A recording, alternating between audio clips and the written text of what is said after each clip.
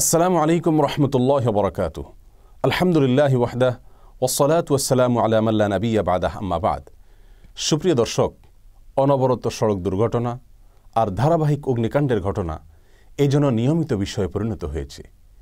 একটি দুর্ঘটনার রেশ কাটতে না কাটতেই ঘটছে আরেকটি দুর্ঘটনা। একটি শোক সামলে ওঠার আগেই ঘটছে আরেকটি শোকাবহ এবং মর্মান্তিক ঘটনা। স্বাভাবিক মৃত্যু এজন্য এখন অস্বাভাবিক বিষয়ে পরিণত হয়েছে। কেন? স্বাভাবিক জীবনযাত্রা আমাদের দিন দিন ব্যাহত হচ্ছে। এ বিষয়ে কোরআনে করিম এবং রসুল করিম সাল্লাহ সাল্লামের সুন্না থেকে আমরা বেশ কয়েকটি কারণ উদ্ঘাটন করতে পারি। যে কারণগুলো আমাদেরকে সুস্পষ্টভাবে দিক নির্দেশনা দিবে কীভাবে আমরা এই সমস্ত ঘটনা থেকে উত্তরণের পথ খুঁজে পাব। কোরআনে করিমের সুরায় রোমের একচল্লিশ নম্বর আয়াতে আল্লাহ সুহাতালা ইরশাদ করেছেন ফসাদু ফিল বর্রি ওয়াল বাহরি বিমা কাসাবাত ঈদিন নাস লিউজিকাহুম বাজাল্লাদি আমিলু লাল্লাহুম ইয়ারজিউন আল্লাহ সুহাতালা ইরশাদ করছেন, স্থলে জলে পৃথিবীর যে কোনো স্থানে যত ফাসাদ, যত বিপত্তি, যত দুর্ঘটনা, যত সমস্যা ঘটছে, এর সবগুলো ঘটছে মানুষের হাতের কামাইয়ের ফলে। মানুষের কর্মফল হিসাবে এগুলো ঘটছে। লিউদি কাহম বাজল্লাদি আমিলু, আর এগুলো ঘটছে এই জন্য যেন মানুষ স্বীয় কর্মের কিছুটা ফল ভোগ করে এবং নিজ কৃতকর্ম থেকে সে ফিরে আসে সঠিক এবং সুন্দরের পথে, সুস্থ এবং ভালো পথে। প্রিয় দর্শক, কোরআন করিমের এ আয়াত আমাদেরকে বলছে, আজ যত দুর্ঘটনা ঘটছে, এ সবগুলো আমাদেরই হাতের কামাই। আজ আমাদের দেশে যে সকল সড়ক দুর্ঘটনা ঘটছে, যে সকল অগ্নিকাণ্ডের ঘটনা ঘটছে, এগুলোর পেছনে অবকাঠামোগত ত্রুটি ব্যক্তি এবং সমষ্টিগত যত প্রকারের অনাচার এবং অনিয়ম হতে পারে, এই সবগুলো হলো এসব ঘটনার পেছনে সবচেয়েতে বড় এবং প্রধান কারণ। একবার মদিনাতে রসুল করিম সাল্লাহ সাল্লামের জীবদ্দশায় একটি অগ্নিকাণ্ডের ঘটনা ঘটেছিল।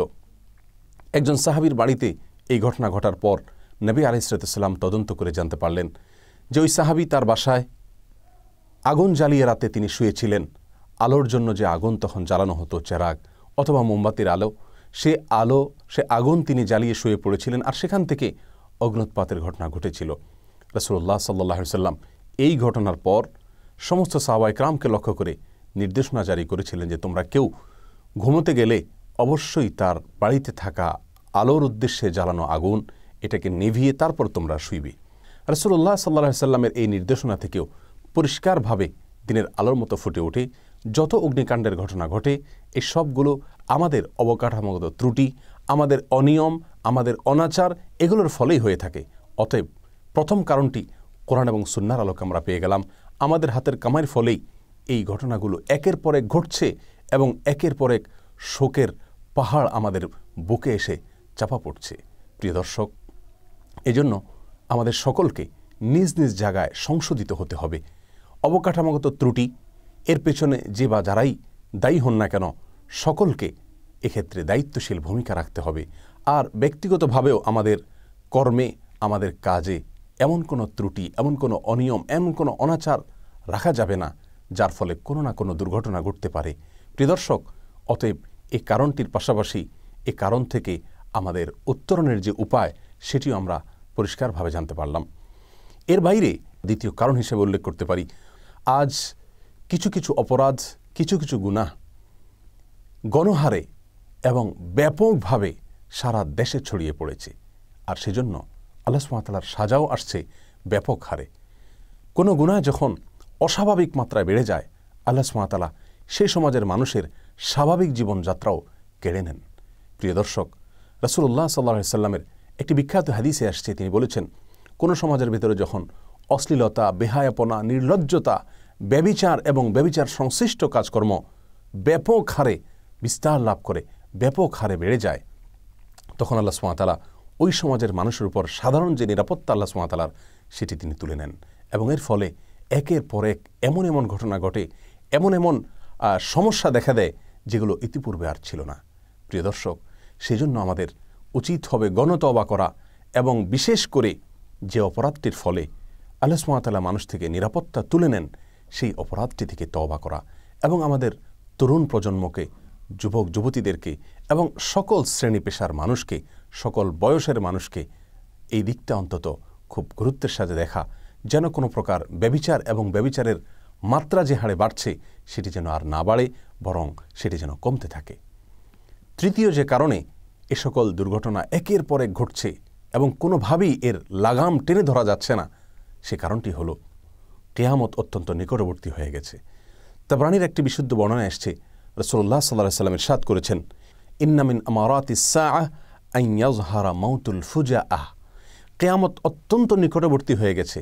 তার একটি বড় নিদর্শন হবে, অস্বাভাবিক এবং আকস্মিক মৃত্যুর পরিমাণ অনেক বেড়ে যাবে এবং ব্যাপকভাবে মানুষ আকস্মিক মৃত্যুর মুখোমুখি হবে।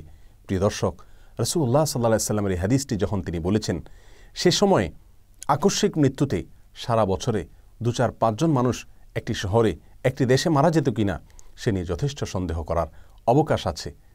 আর সেই সময়ে রসুল করিম সাল্লাহ সাল্লাম আকস্মিক মৃত্যুর মিছিল, অনেক দীর্ঘায়িত হবে, আকস্মিক মৃত্যু দিন দিন বেড়ে যাবে, এ বিষয়টি আমাদেরকে ভবিষ্যৎবাণী করেছেন। আজ আমরা তার বাস্তবায়ন লক্ষ্য করছি।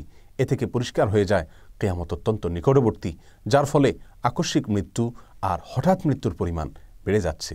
অতএব এ বিষয়টিকে মাথায় রেখেও আমাদের উচিত হবে গণতওবা করা। আমাদের উচিত হবে আল্লাহর দিকে ধাবিত হওয়া, আমাদের উচিত হবে গণহারে ইস্তেকফান করা, আমাদের উচিত হবে আল্লাহর দিকে ফিরে আসা। তা না হলে, তা না হলে এই ভয়াবহ দুর্ঘটনা, এই ভয়াবহ অস্বাভাবিক মৃত্যুর যে মিছিল শুরু হয়েছে, তা কোনোভাবেই থামবে না, বরং আরও ভয়াবহ রূপ পরিগ্রহ করবে। আল্লাহ সুমাতালা আমাদের সকলকে এ সকল পরিস্থিতি থেকে মুক্তি নসিব করুন, আমাদের জাতীয় দুর্যোগ থেকে আমাদেরকে রক্ষা করুন। অবকাঠামোগত ত্রুটি, অনাচার এবং অনিয়ম যেগুলোর ফলে একের পর এক দুর্ঘটনা ঘটছে, একের পর এক প্রাণহানির ঘটনা ঘটছে, মৃত্যুর মিছিল দিন দিন দীর্ঘায়িতই হচ্ছে। আমাদেরকে সেই প্রধান কারণটি চিহ্নিত করে সেটা থেকে উত্তরণের পথ আমাদেরকে খুঁজে বের করতে হবে।